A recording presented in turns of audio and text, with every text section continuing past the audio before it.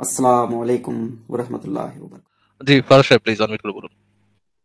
আসলে আমার যুক্ত হওয়ার কোনো ইচ্ছা ছিল আমি আমি মানে মুসলিমদের লাইভ বলতে যুক্ত হই। তো যাই হোক একটা প্রশ্ন একটা ডাউট ছিল আপনার এর আগে সম্ভবত জনি ভাই।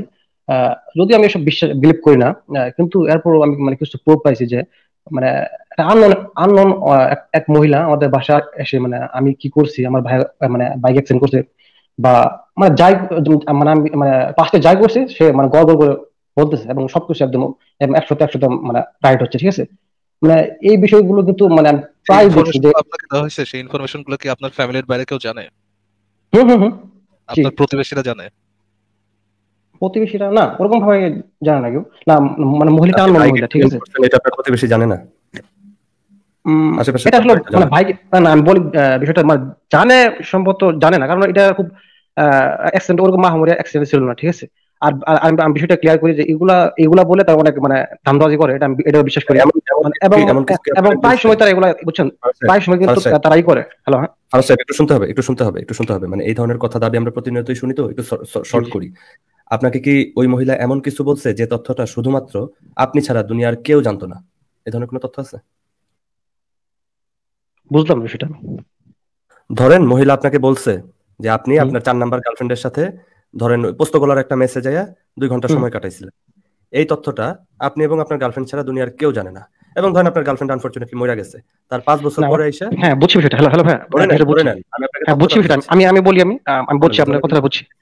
মানে আমি বলতে চাচ্ছি না মানে এরা কিন্তু এগুলা বেশিরভাগ কিন্তু আপনার এরা লোক ভালো মানে ধান্দাবাজি করে ঠিক আছে? এবং একশো পার্সেন্ট তারা করে মোটামুটি। কিন্তু আমরা মানে বিষয়টা হচ্ছে তারা এগুলা কীভাবে তারা ই করতে পারে মানে আন্ডারস্ট্যান্ড করতে পারে? মানে এই বিষয়টা। আমি অনেক অনেক দেখছি যে আপনার। এটাই তো আপনাকে বলতেছিলাম ভাই। ধান্দাবাজি যে করে তারা লোক ভালো না আমরা নিজেরাই তো এটা বলি। আমাদের কাছে আবার এটা এসে বলার মানে আমি বুঝলাম না। দ্বিতীয় কথা হচ্ছে যে আপনাকে আমি জিজ্ঞেস করলাম না যে এমন কোন তথ্য কি সে আপনাকে দিছে? যে তথ্যটা আপনি ছাড়া দুনিয়ার কেউ জানে না। এটার উত্তর যদি হ্যাঁ হয় তাহলে এমন কোন তথ্য পাইনি আমি। এমন কোনো তথ্য পান নাই। তাহলে বাকি তথ্যগুলো ভাই সেকেন্ডারি টার্সিয়ারি সোর্স থেকে কালেক্ট করা তো কোনো ঘটনাই না। না যে মহিলাটা আসলে আপনাকে যে তথ্যগুলো দিছে সেই তথ্যগুলো আপনি অন্য কারোর সাথে শেয়ার করছেন কিনা? হু নোজ যে সেই তথ্যগুলো সেখান থেকে জানে নাই? তাই না? এই যে যেমন আপনাকে আমি একটা প্র্যাকটিক্যাল উদাহরণ দিই। এই যে আর যে কিবরিয়া নামে একজন আর যে ছিল না ওই যে একটা অনুষ্ঠান করতো ডর মনে আছে? আপনারা মনে হয় শোনেন আমি শর্ট বলি। ওই অনুষ্ঠানে রাত বিরাজা নামে একজন একজন একজন ভণ্ড ছিল সে হচ্ছে আপনার এই জিন টিন নাকি ছাড়াই সে ডিজিটাল হুজুর। সে কি করতো? মানুষকে একজন একজন করে মানুষকে সে হচ্ছে ওই একদম রেডিওর ওপেন ওপেন প্রোগ্রামেই সিকিউর করে দিত। এবং তাদের বিশ্বাস অর্জন করতে এইভাবে, ভাই, আপনার বাসাটা ওইখানে না? আপনার বাসার নাম্বার এইটা না? আপনার গেটের রং এইটা না বাসার? ও আচ্ছা আপনার আপনার বাসার পিছনে একটা অমুক গাছ আছে, তমুক গাছ আছে। মানুষ তো কয় সর্বনাশ, এই লোক তো অস্থির। বাট দ্য থিং ইজ ওই মানুষটার সাথে যখন সে প্রাইমারিলি যোগাযোগ করছে, তার কাছ থেকে সে তার ফেসবুক নিছে হোয়াটসঅ্যাপ নিছে পার্সোনাল নাম্বার নিছে। ভাই, একটা মানুষের ফেসবুকে ধরেন যে বিশটা ছবি আপলোড দিলে, ওই ছবিগুলোর ব্যাকগ্রাউন্ড অ্যানালাইসিস করলে যে কোনো বুদ্ধিমান মানুষ তার সম্পর্কে বিশটা প্রেডিকশন করে দিতে পারবে। আমিই পারব। ওই লোক দেখা যাচ্ছে তার গেটের সামনে ছবি আপলোড দিচ্ছে উত্তরার বাসার। সে বলতেছে যে, ভাই মানে পরবর্তীতে যখন এগুলো ফাঁস হইল আর কি যখন অনুষ্ঠান চলে তখন তো মানুষ ডিটেইলি ব্যাকেল হয়ে গেছে যে হাই হাই কেমনে? যখন এগুলো ফাঁস হইল একদম একটা একটা রিপোর্ট দেখছিলাম এটা এটা নিয়ে দেড় ঘণ্টার একটা রিপোর্ট দেখতেছি যে যে লোক সম্পর্কে এই ধরনের প্রেডিকশন অনুষ্ঠানে করা হয়েছে ওই লোক তার বাসার সামনে দাঁড়িয়ে সেলফি তুলছে। সেখানে বাসার পিছনে একটা নারিকেল গাছ দেখা যাচ্ছে বাসার নাম্বারটা দেখা যাচ্ছে এলাকা দেখা যাচ্ছে আর কিছু লাগে? বাট এই এই এই ব্যাকগ্রাউন্ড অ্যানালাইসিসটা তো ধরেন যে ছবি তুলছে সে ব্যাটা নিজেও জানে না যে তার বাসার সামনে সে সেলফি তুলছে সেখানে তার বাসার নাম্বারটা দেখা গেছে। তাই না? হুম। আচ্ছা, আচ্ছা এরপরে আচ্ছা, এখানে আমি কয়েকটা কথা বলে নেই, যে যে প্রত্যেক মানুষের কিছু বডি ল্যাঙ্গুয়েজ থাকে হ্যাঁ? প্রত্যেকটা মানুষের কিছু মানে নির্দিষ্ট কিছু ইয়া থাকে, কাজ সে করে। অনেকে দেখবেন কথা বলার সময় একটু ততলায় অনেকে এই যে আমাদের লাইভে একটা ছেলে এসেছিল যে একটু কথা একটু জড়ায় যেত, ততলাতো হ্যাঁ? আমরা যেটাকে ততলানো বলি। সেই ছেলেটাকে আমি জিজ্ঞেস করলাম যে, ভাই, আপনাকে কি ছোটবেলা আপনার বাবা মা খুব টর্চার করতো? মানে পিট মারপিট করতো? সে বলল হ্যাঁ মারপিট করতো। তারপর আমি তাকে জিজ্ঞেস করলাম যে, আপনাকে কি খালি খোটা দিত? যে, বিভিন্ন যে অমুকের ছেলে পরীক্ষা ফার্স্ট হয়েছে তুই ফার্স্ট আসনি কেন? তুই কি করলি? তুই কেমনি করলি? তোর তোর কোনো মেধা নেই, তোর কোনো বুদ্ধি নেই। এইভাবে আপনাকে সারাক্ষণ কি খালি খোটা দিত? সেই ছেলেটা বলল, যে সেই লোকটা বলল যে হ্যাঁ তাকে ছোটবেলায় এইভাবে খোটা দিত। এবং মানে এটা এই লাইভটা সবাই দেখছে। আপনি নিজেও খুঁজে দেখতে পারেন, এইরকম একটা লাইভ হয়েছিল, একটা ছেলে ছিল কথা জানা যায়। তো আমি কীভাবে বুঝলাম যে এই ছেলেটার সাথে এরকম হইতো ছোটবেলা? এইগুলা বোঝার কিছু বইপত্র আছে হ্যাঁ? মানুষের কিছু বডি ল্যাঙ্গুয়েজ মানুষের সাইকোলজি কীভাবে ডেভেলপ করে কোন কাজগুলা করলে, কোন আচরণগুলো করলে, মনে করেন আপনি দাঁত, এই যে নখ কামড়ান হ্যাঁ? মানে আপনি এই নখ কামড়ানোর মানেটা হচ্ছে আপনি সবসময় একটু আত্মবিশ্বাসহীনতার ভিতরে থাকেন এবং কনফিউজ থাকেন বা আপনি চুলের গোড়াটা ধরে টানেন। কথা বলতে বলতে আপনার খেয়াল নেই, আপনি চুলের গোড়া ধরে টানতেছেন, হুদাই হুদাই টানতেছেন।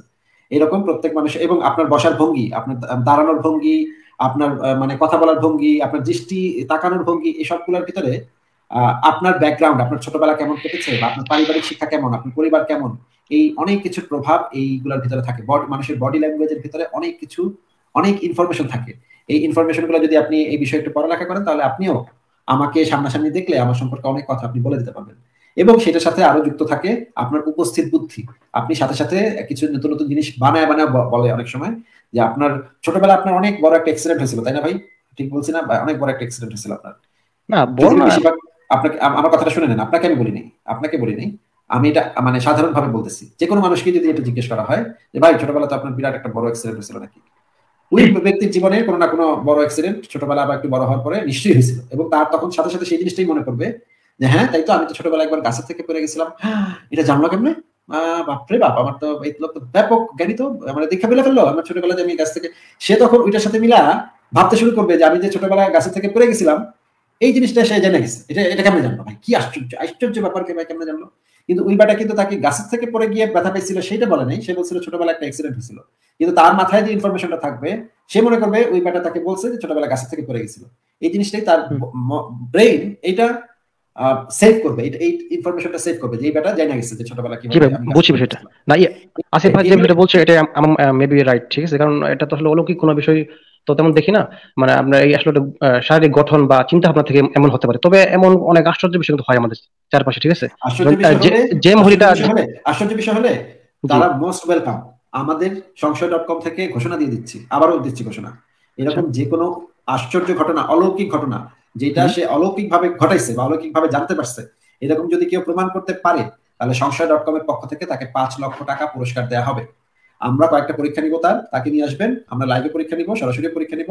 আমরা যদি পরীক্ষা করে দেখতে পাই যে সে আসলেই অলৌকিক ভাবে এই জিনিসগুলো করতে পারে বা বলতে পারে তাহলে তাকে আমরা পাঁচ লক্ষ টাকা সংশয় ডট কম এর পক্ষ থেকে আমি নিজের পকেট থেকেও দিব পাঁচ লক্ষ টাকা। আচ্ছা, আচ্ছা মানে হ্যাঁ, ভালো হয় কিন্তু আপনার সংশয়টা বন্ধ করার ঘোষণা দিলে মানুষ বেশি উৎসাহ পাবে। ওয়েল ঠিক আছে যান। সংশয় ডট কম বন্ধ করে দিব তারে লিখে দিব মানে একদম মানে ইয়া করে লিখে দিব যান। মানে বিষয়টা তো ঠিক আছে আপনার বলছেন পাঁচ লক্ষ টাকা দেবেন। কিন্তু আপনার মানে এমন কি হতে পারে যারা জিন ভূত বা অশুভ আত্মা মানে এগুলোতে আপনার কি বিলিভ করেন আপনারা? যে কোনো কিছু নিয়ে আসেন পাঁচ লক্ষ প্লাস সংশয় আচ্ছা যাই হোক সেটা বাদ দিয়ে মানে ইয়া ভাই আপনারা কি জিন ভূত বা অশুভ আত্মা এগুলোতে বিলিভ করেন? যে কোনো বললাম তো ভাই যে কোনো অলৌকিক জিনিস যদি বিলিভই করতাম তাহলে তো আমি আপনাকে চ্যালেঞ্জ দিতাম না। যদি আমরা বিলিভ করতাম এটা বুঝেন না ভাই আমরা বিলিভ করি দেখেই চ্যালেঞ্জটা দিচ্ছি। যে কোনো অলৌকিক প্রাকৃতিক ঘটনা যদি আপনি আমাদের সামনে প্রমাণ করতে পারেন যে এরকম একটা অতি প্রাকৃতিক অলৌকিক কিছু একটা আছে তাহলে আপনাকে তো এই চ্যালেঞ্জটা দিয়ে দিচ্ছি। তার মানে তো এটাই বোঝায় যে আমরা এগুলা মানি না। না ঠিক আছে কিন্তু আপনার ডিসকভারিতে আমি একটা প্রোগ্রাম দেখতাম আপনার সঠিক খেয়াল নেই আপনার ডিসকভারিকে গিয়ে বলেন তাহলে ডিসকভারির ওই যে যাদেরকে তাদেরকে গিয়ে বলেন তাহলে আমাদের চ্যালেঞ্জটা অ্যাকসেপ্ট করতে প্লিজ না না ভাই হ্যালো ডিসকভারি চ্যানেল তো আর জানতন চ্যানেল না ঠিক আছে? এটা তো আপনার অনেক এইরকম অনেক চ্যানেল অনেক মানে বিশ্বের জন্য ভিউর জন্য অনেক কিছু করে অ্যাডের জন্য অনেক কিছু করে ডিসকভারি চ্যানেল হইলেই যে সেখানে উল্টাপাল্টা ফালতু জিনিস দেখাবে না এটা কোনো কথা না ভাই। পৃথিবীতে অনেক পত্র পত্রিকা অনেক বড় বড় পত্র পত্রিকা তাদের ভিউর জন্য এই রকম কি ক্লিক বেট বলে এটাকে হ্যাঁ?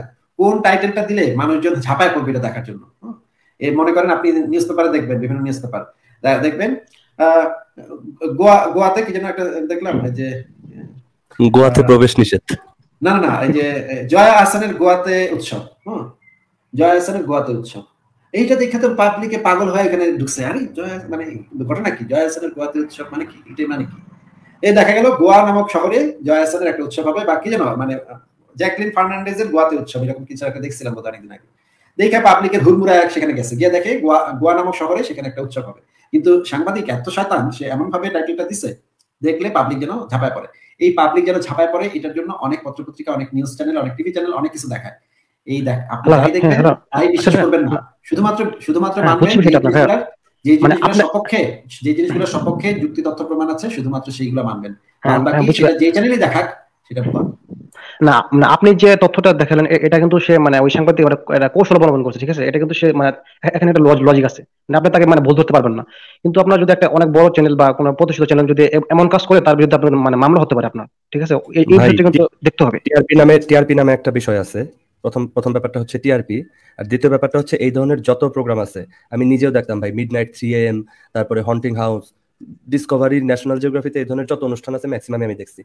প্রত্যেকটা অনুষ্ঠান শুরুর আগে সেখানে একটা ডিসক্লেমার থাকে। আপনি ডিসক্লেমারটা একটু ছবি তুলে মানে ডিসক্লেমার তো বেশি সময় দেখায় না দুই তিন সেকেন্ড যখনই আসবে আপনি মোবাইল দিয়ে ছবি তুলবেন। ছবি তুলে ডিসক্লেমারটা ইংরেজিতে পড়বেন। ওইটা অনুবাদ করবেন। দেখবেন সেখানে কি লেখা আছে। তাইলে আপনার সকল কনফিউশন দূর হয়ে যাবে ভাই। নিনজা টেকনিক আচ্ছা ঠিক আছে ফারাজ রহমান ভাই আজকে তাহলে আপনাকে বিদায় জানাই। ভালো থাকেন তাহলে। আচ্ছা ভাই। আচ্ছা ঠিক আছে। তাহলে এখন কারে বিদায় জানাতে গিয়ে কারে বিদায় জানাতে দিই? এটা তো একটা প্রবলেম হয়ে গেল। ফারাজ ভাই।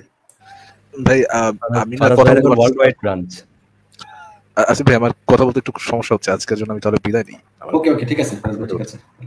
Take care good night good good night তাহলে তাহলে আমরা শেষ একজনকে যুক্ত করি আর সাথে ওনার সাথে কথা বলে শেষ করে দিব। আল হাফসি ভাই শুনতে পাচ্ছেন? আল হাফসি ভাই আপনি আনমিউট করে কথা বলতে হবে। আপনি হ্যাঁ শোনা যাচ্ছে আসিফ হ্যাঁ ভাই আপনি।